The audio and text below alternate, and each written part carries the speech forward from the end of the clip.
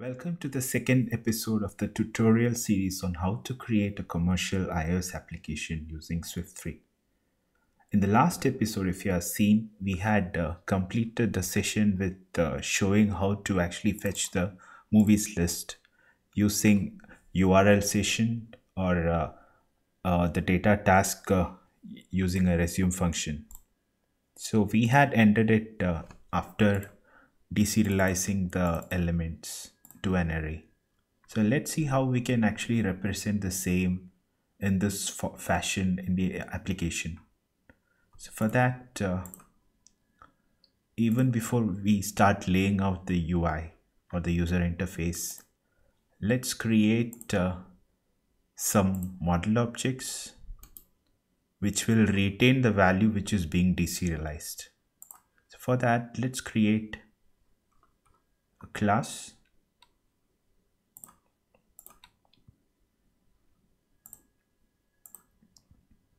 it will be a basic ns object let's call it uh, movies uh, result. Or let's say movie result.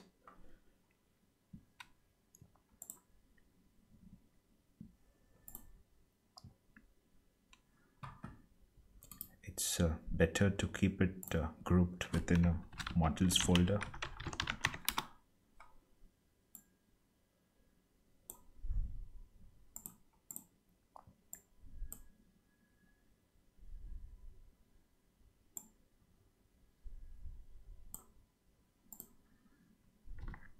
and let's see what the response looks like which uh, we will actually use. So a basic response look like this. It has elements page results and then you have total pages and total results so these are the four elements which are coming back as the response. So let's create a, a model variable called uh, page number.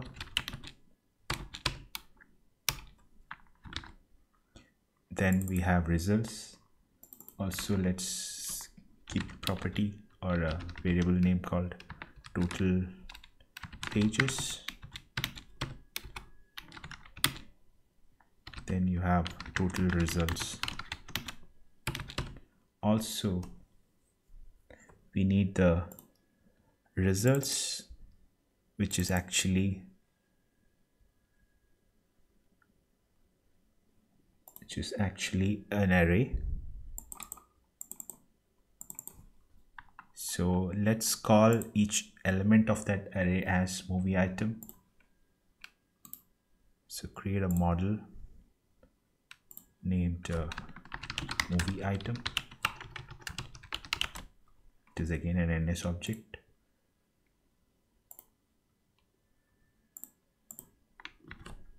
So it needs to have basically what we are interested in are let's say the movie ID as such, then the title of the movie, the release date, and the poster path, which is actually something we will download at a later point. So these are the four things which we are looking for. So we have the poster path here. Let's create a property called poster path.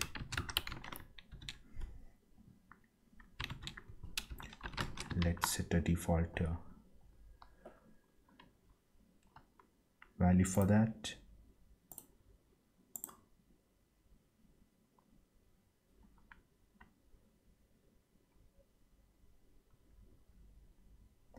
Then you have uh, the release date.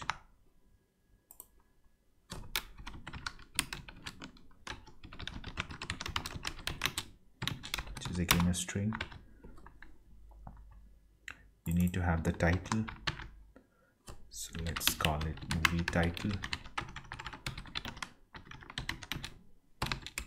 There's no need that uh, the attribute names that is visible here as part of the response the json response be the same name here. We only need to make sure that uh, while we are deserializing it we use it. So it's also has the id so let's call it uh, movie id let's keep it as the first first variable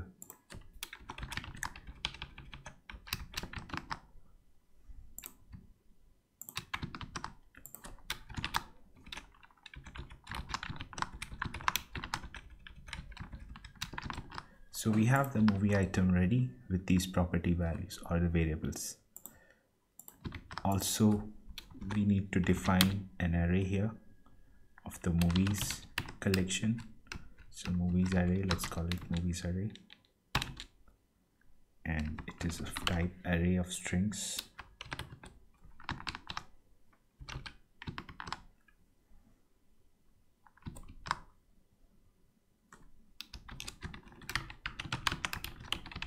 To define the type here.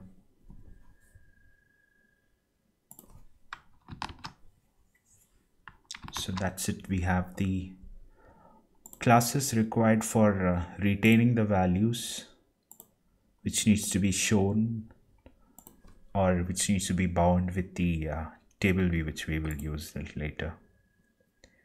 So once we receive the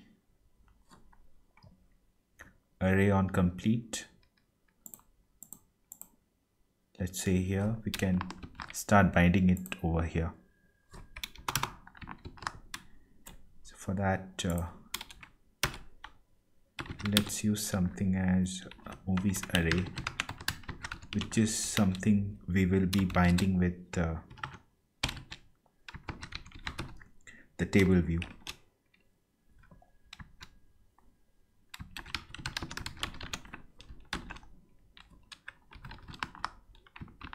also there are some variables which is required here.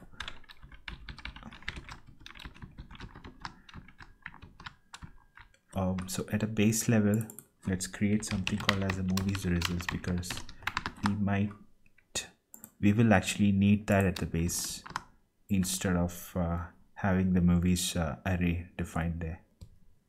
So it's called movies result and it should be of type. Let's instantiate it here itself the item.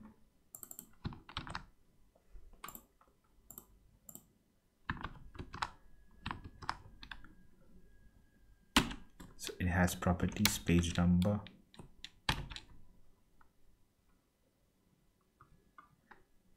So let's make a change here where instead of this returning the string. Let's make it return an NS dictionary. So let's go to fetch configurations. And complete we need the movies result which is an NS dictionary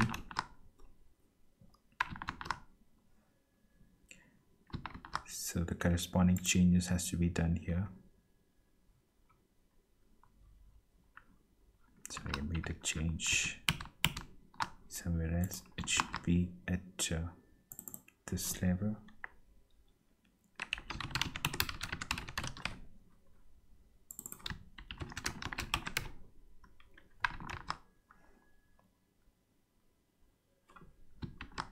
Also let's make one more closure method called on failure. Which will return a message. This is to handle this condition here. If on error you just call the failure method and pass that back. And on complete will take the NS dictionaries result. So we don't need this here.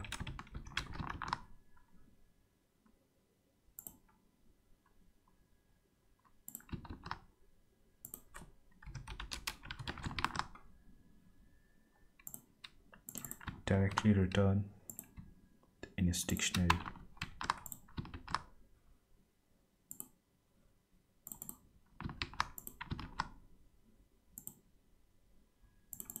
so are escaping just which is an optimization for memory management. So on so on complete we are returning the ns dictionary element. Same is being received here. So instead of this we'll call it as movies result also it needs to have one more failure closure defined. Should accept the failure one. Message is received here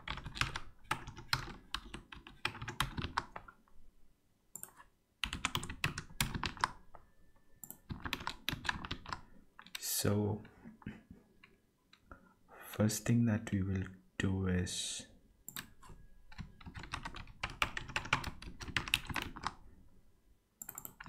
let's take the dictionary value for the key. So as I had said while fetching that value we have to make sure that it matches the same name like available here because that's a dictionary we are we had deserialized. So it's of type integer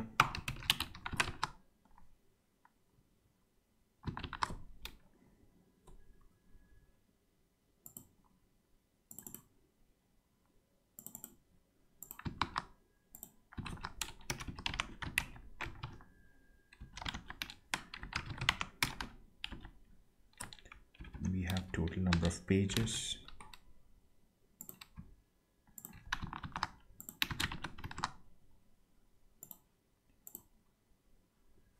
okay some looking somewhere else so here it is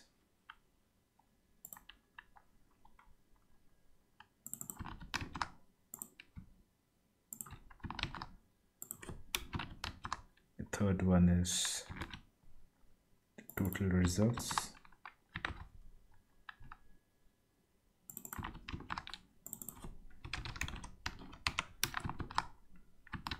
And finally we need to get the array of movies which is the movies results. We need to create a new array for that. Or well we need not because it's already instantiated here so we just have to receive that. So even before adding an element let's get the array here so let's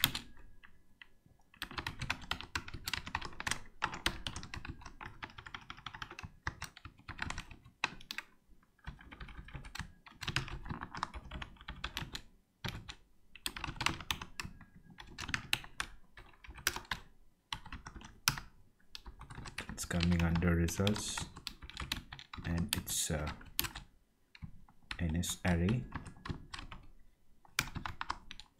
so we have the movies array result here. Let's loop through that to get each and every value or each and every item. Let's call it movie json item. And we need to create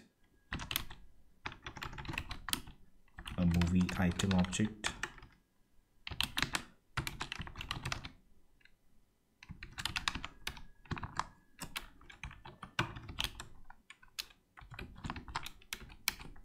set those values coming from the JSON element. We have a title.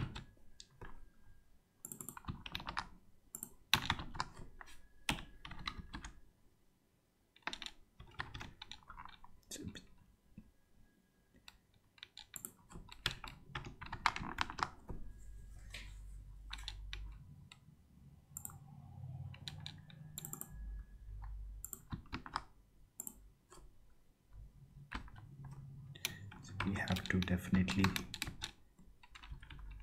make it an NS dictionary type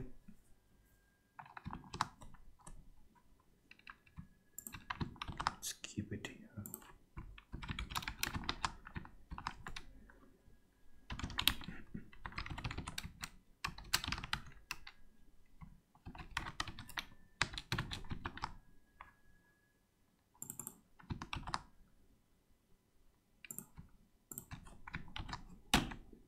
and then call the value. So the title will be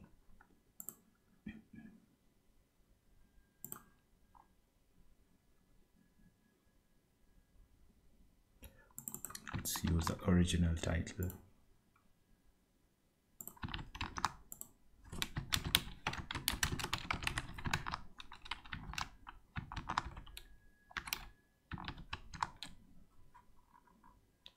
then we have the movie id is of type int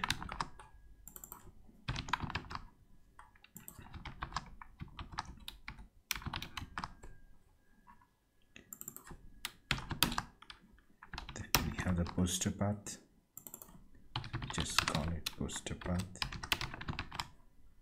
Guess that's the right name. It's poster path. Let's double check it. That's a string type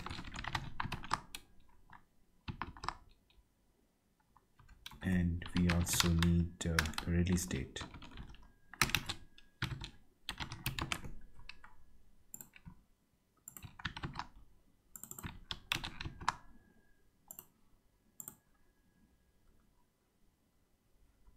so there you have it.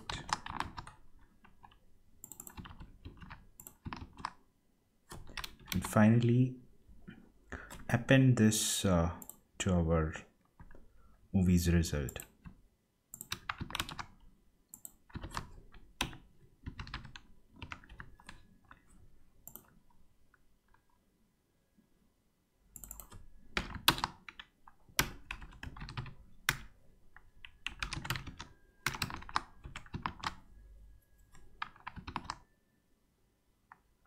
so once this is done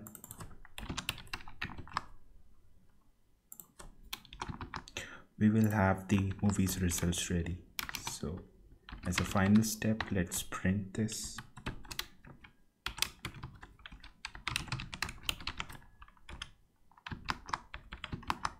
And see whether it's being received in the model element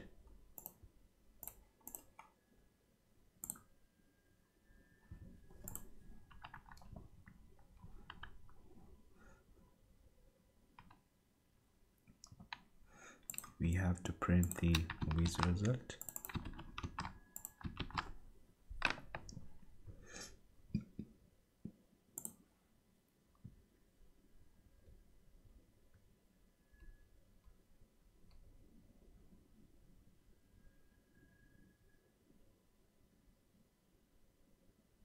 So it's printing the movie's results here does not really give you what is there but let's just see page number.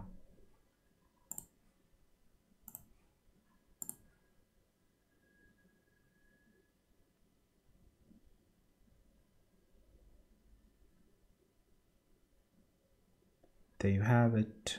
It's printing one as a page number. So once that is done let's start creating the user interface